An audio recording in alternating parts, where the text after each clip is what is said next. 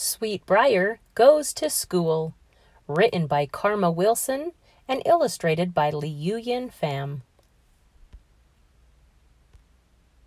When she was born, her mamma took one look at her and declared, Isn't she the sweetest thing?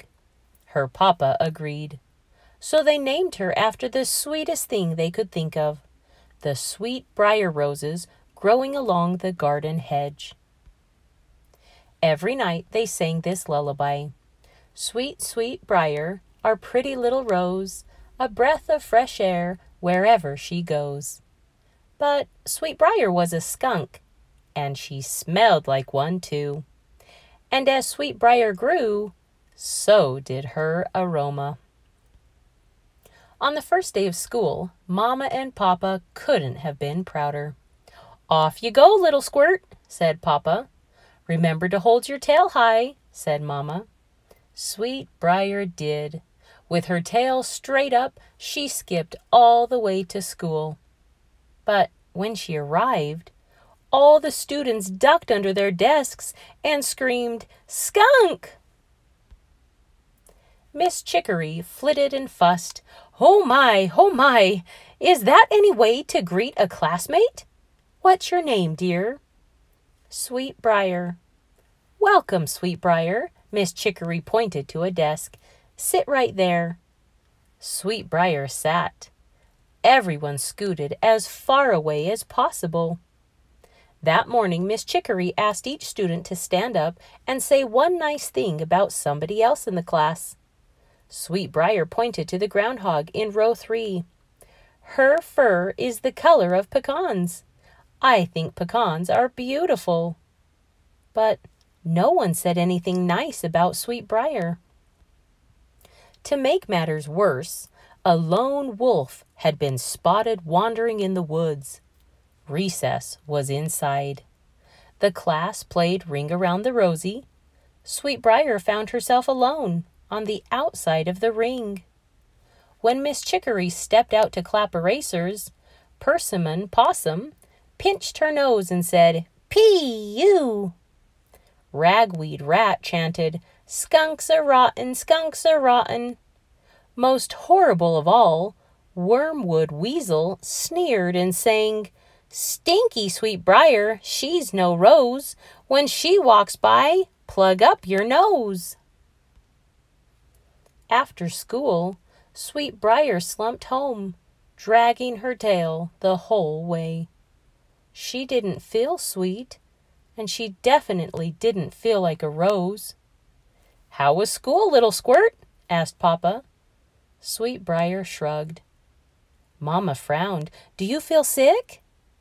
Sweetbriar hated for her parents to worry, so she said, I'm fine. But she hardly ate any dinner and went to bed early. When Mamma and Papa started to sing, Sweet, sweet Briar, our pretty little. Sweet Briar sighed, Not tonight, please. The next day at school, everyone showed up with paper clips on their noses. Miss Chicory was not amused. Neither was Sweetbriar. Later, Miss Chicory passed around letters from the alphabet. She asked each student to recite three words starting with his or her letter. Sweetbriar got the letter F and said, F is for feelings. F is for frown. F is for friend. Wormwood got the letter S and said, S is for skunk. S is for stench. S is for smelly. The whole class stared right at Sweetbriar. It only helped a little when Miss Chicory said, S is also for sit. Do so now, Wormwood. Once more, because of the wolf, they stayed inside for recess. The class played hide and seek no one came looking for Sweetbriar. When Miss Chicory stepped into the hall to chat with Mr. Clover, Persimmon pointed at Sweetbriar and said, Please play somewhere else. Ragweed shouted, Skunks reek! Skunks reek! And Wormwood sang a new song. Most horrible of all, the whole class joined in.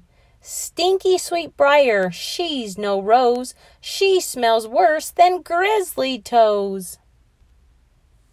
Sweetbriar couldn't wait to go home. How was school? asked Mamma and Papa. Sweetbriar shrugged and said, Fine, I guess.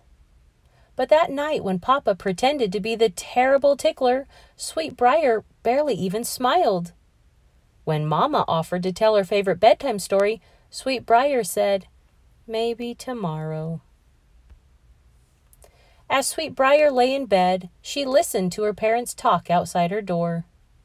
Something is very wrong, said Papa. Is she having trouble fitting in? Mamma sighed. Probably. I remember how hard those first days of school were. A skunk's perfume can be slightly overbearing to others. We must talk to Miss Chicory. Most certainly, Papa said. But I'm sure Sweetbriar will make friends soon. She's the sweetest thing in the whole world. Sweetbriar whispered, No, I'm not, and drifted off to sleep. The next day, Sweetbriar dragged her tail the whole way to school. She scrunched down in her desk all morning long. Miss Chicory announced, The wolf hasn't been spotted today. Recess is outside. Everyone cheered everyone except Sweetbriar. During recess, Sweetbriar offered her swing to Persimmon. Persimmon pretended not to notice. Ragweed dropped his ball, so Sweetbriar tossed it back. Ragweed wouldn't touch it. And nobody would teeter totter with Sweetbriar. Most of all, Wormwood shouted, Hey guys, I have a new Sweetbriar song, my funniest yet, he sang. Stinky Sweetbriar, she's no. Ow! Oh! Ah! Help! A wolf snatched up Wormwood right in the middle of his song.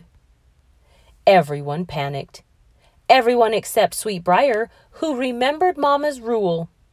To keep the wolves and bears away, lift your tail and spray, spray, spray.